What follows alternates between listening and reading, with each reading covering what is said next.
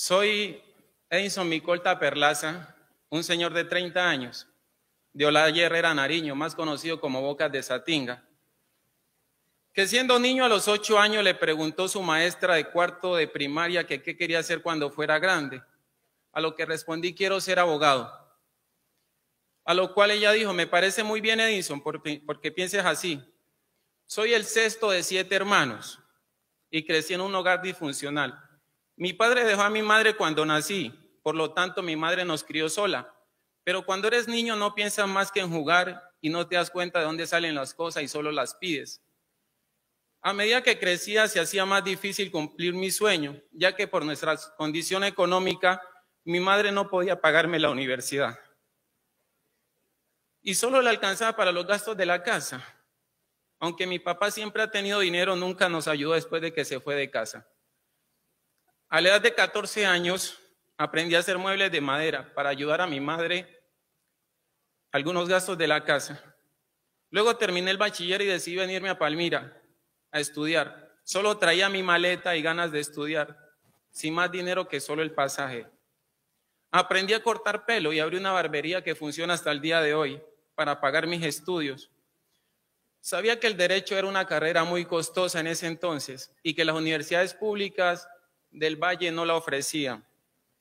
Entonces, en el 2008 decidí estudiar ingeniería agroindustrial en la Universidad Nacional, la cual pasé y terminé en el 2016. Soy ingeniero agroindustrial de la Universidad Nacional.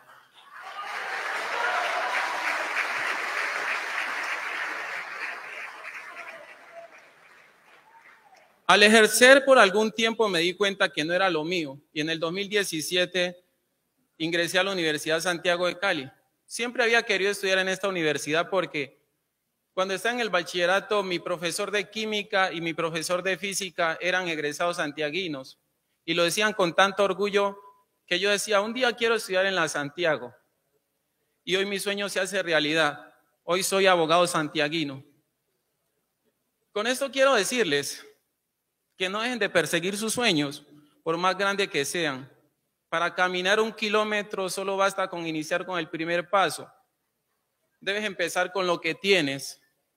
Mi abuelito decía que en paz descanse, nieto, las cargas se arreglan en el camino.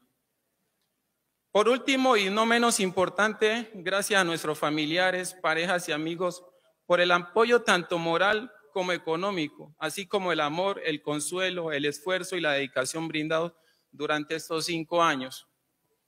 Gracias por darnos la vida y permitir estar un día como hoy logrando nuestros sueños, porque sin vuestra incansable paciencia y motivación, nada habría sido posible.